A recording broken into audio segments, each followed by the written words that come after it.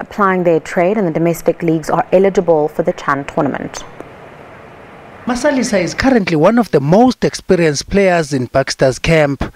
Two weeks ago, Baxter did not hesitate to name him the captain of the COSAFA Cup team even before telling him about it. His complimentary remarks uh, earned him the, earned him the armband. The former Orlando Pirates player captained Bafana when they beat Botswana 2-0 in the plate semi-final. However, without the letter clearing him to play, the player remains in limbo.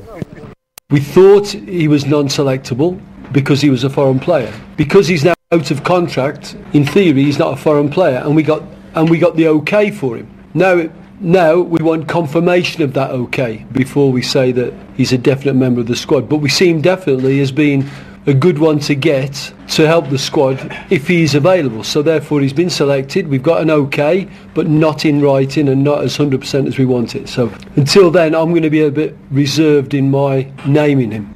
The Chan tournament is a CAF sanctioned event, so the confirmation must come from the federation. The implications of playing an ineligible player ranges from a fine to being docked points. This is not the first time that SAFA has found itself in this situation. In 2013, SAFA were docked three points by FIFA after Botswana contested that Bafana Bafana fielded an ineligible player. Temba Shiba, SAPC News, Soweto.